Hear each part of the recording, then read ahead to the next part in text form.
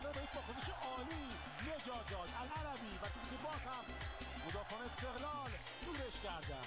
تو باری کلابه حسین حسین